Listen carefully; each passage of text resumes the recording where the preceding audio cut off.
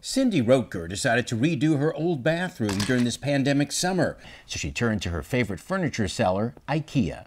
So back in June, I ordered a new vanity from IKEA. It was a Hemnes vanity and sink, so she bought her tile and started the project, but it all screeched to a halt on delivery day. The morning of July 11th, saying that due to mechanical issues, the delivery would not take place. With its local store still closed, she called but got nowhere.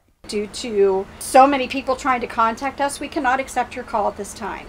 Now, more than a month later, Cindy has no idea when it's coming. Not even provide customer service or support that you can speak to somebody. IKEA's Hemnes line of furniture is one of the most popular furniture lines in the world. This is a Hemnes dresser.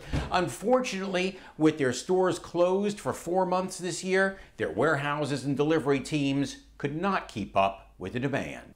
IKEA tells us in a statement, due to the impact of COVID-19, we are experiencing some supply delays. We appreciate customers' patience while we work with our suppliers to restock their favorite IKEA products. But Reddit forums are filled with similar complaints from many customers wondering why such a well-run retailer stumbled during the pandemic. So I'm at my wit's end, and I'm starting to panic a little bit because I need a bathroom vanity. With IKEA stores finally reopening now, the company hopes those delays will soon ease. As always, don't waste your money. I'm John Matarese.